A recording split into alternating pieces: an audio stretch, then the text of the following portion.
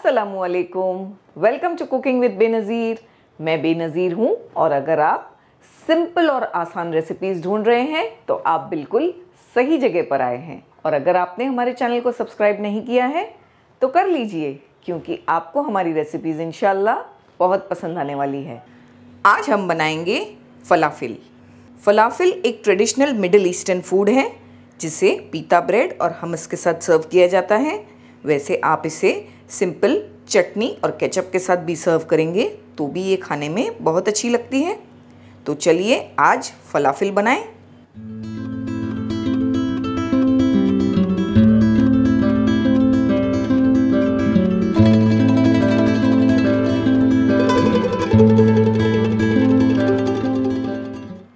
हमने यहाँ पर छोले ले लिए हैं भीगे हुए।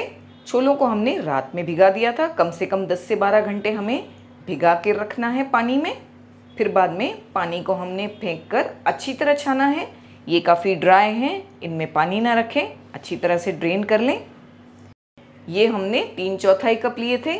भीग जाने के बाद ये तकरीबन दो कप के करीब हो गए हैं। हमने छोले को एक चॉपर में डाल दिया है। आप चाहें तो मिक्सर ग्राइंडर का इस्तेमाल कर लें। हम इसमें आधा प्याज डाल देंगे। स्लाइस करके हमने मीडियम साइज़ का आधा प्याज यूज़ किया है। छः से सात लहसुन की कलियाँ भी डालेंगे।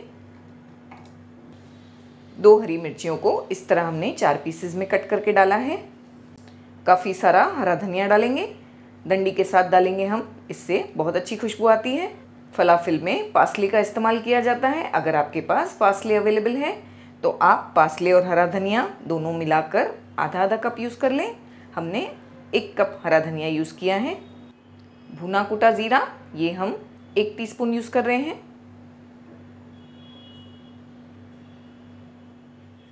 एक टीस्पून के करीब नमक। इन सारी चीज़ों को हम चॉपर में चॉप कर लेंगे। ध्यान रखना है, बिल्कुल फाइन पेस्ट नहीं बनाना है, थोड़ा दरदरा रखना है। अच्छी तरह से हमने इसे ग्राइंड किया है। आप देख सकते हैं कि ये बिल्कुल बारीक पेस्ट सा नहीं है मोटा मोटा है, ऐसा ही रखें। इसमें ज़्यादा पानी नहीं है। क्योंकि हमने छोले को अच्छी तरह से सुखाया था। इस तरह जब हम इसे करें तो एक बॉल बनना चाहिए। आपने अगर पानी ज़्यादा रखा है तो इस तरह का बॉल नहीं बनेगा और अगर ऐसा हो जाता है तो आप बेसन डाल दें, एक से दो चम्मच। हम इसमें थोड़े चिली फ्लेक्स डाल देंगे, जो बिल्कुल ऑप्शनल है। आप तीखा कम खाते हैं तो ना डालें। तकरीबन हाफ़ टी स्पून डाल देंगे। एक चौथाई टीस्पून बेकिंग सोडा, यानी खाने का सोडा।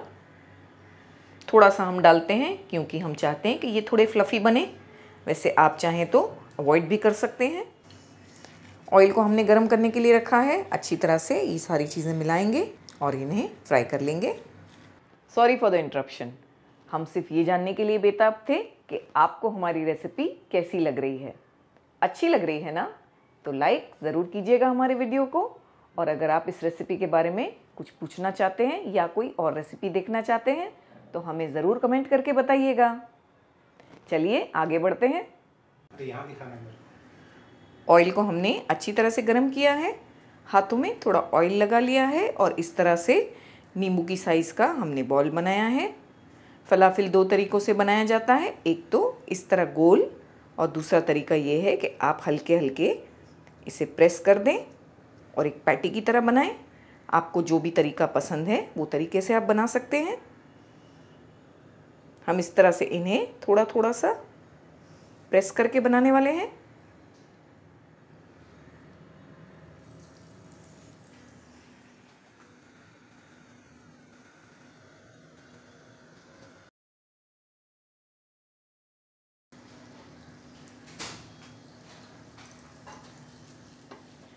फलाफिल को डालते ही एकदम से पलटाना नहीं है। एक से दो मिनट तक पकने देना है मीडियम फ्लेम पर, फिर हम इन्हें गोल्डन होने तक पकाएँगे। फ्लेम को बहुत ज़्यादा हाई ना रखें, क्योंकि हम चाहते हैं कि अंदर तक अच्छी तरह से फलाफिल पक जाएँ। कहीं ऐसा ना हो, ये ऊपर से ब्राउन हो जाए और अंदर कच्चे रह जाएँ। बहुत अच्छा गोल्डन कलर आ गया है फलाफिल पर। बस ऐसा ही कलर चाहिए हमें। टिश्यू पेपर पर निकाल लेंगे। फलाफिल हमस के साथ बहुत अच्छा लगता है। हमस की रेसिपी भी हमने अपलोड की है।